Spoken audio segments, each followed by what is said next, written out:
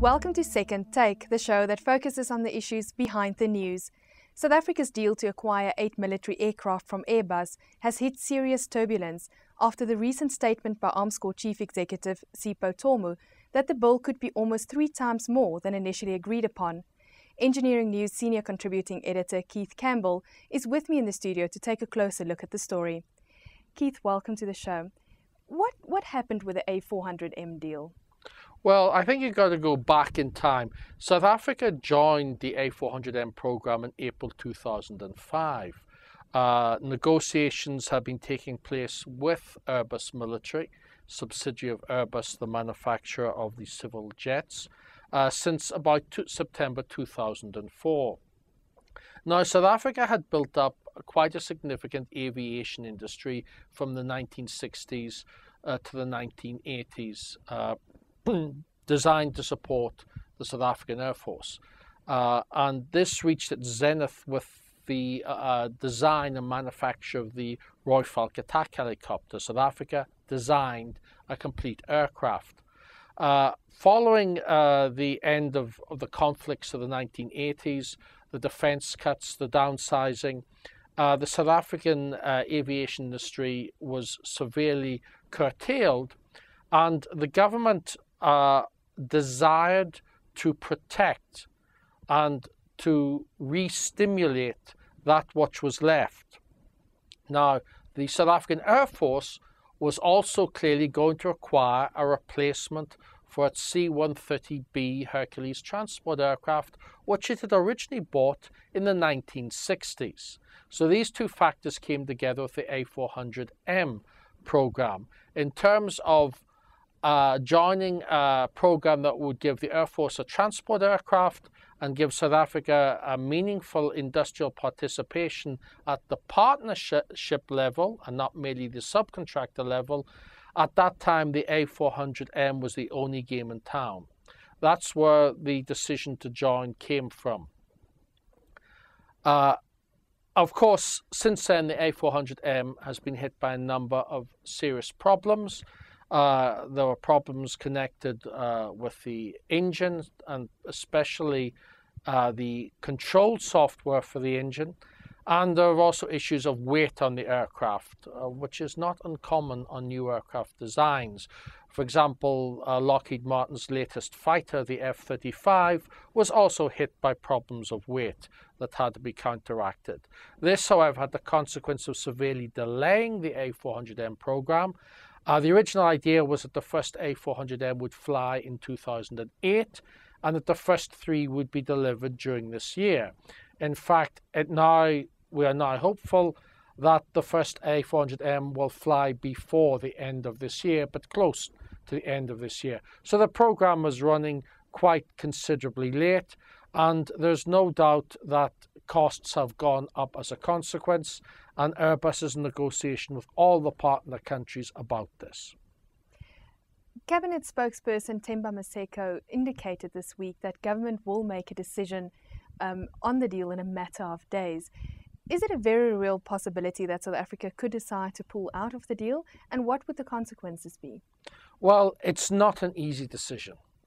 Uh, the claim that the uh, cost has increased from 17 billion rand to 47 billion rand, uh, provoked an unusually strong statement from Airbus. Companies are usually very diplomatic when dealing with their customers, uh, but Airbus came out with a very strongly worded statement saying that they categorically denied this and that the figure of 47 billion was wildly exaggerated. The thing is, we don't know how much the program has gone up by.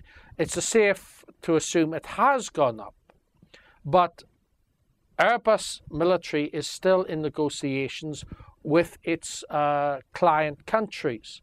And until those negotiations are settled, and include things like uh, if the production schedule is extended, or if some countries reduce the number of aircraft they buy, these will all have an effect on the final price. Now, is there a chance that South Africa could cancel? Yes, there is. Um, But as I said, it's not an easy decision. There are two problems. What happens to the local industry and what happens to the South African Air Force? Uh, basically, for the South African Air Force, there's only one practical alternative. That's to go with the Lockheed Martin C-130J Hercules, the uh, new generation Hercules that first flew uh, in 1999. Uh, but Lockheed Martin can give very little significant offset to South Africa for that aircraft.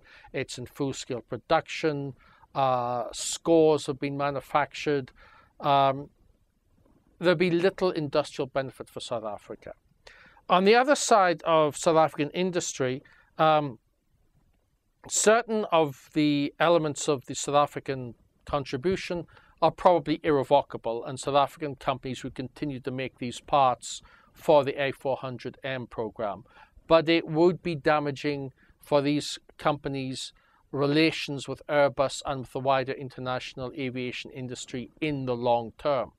So, whatever decision the government takes, there are going to be downsides for South Africa. It's it's not going to be an easy decision. They could cancel it. Yes, that will uh, have problems, and they could continue with the program, and that will have problems.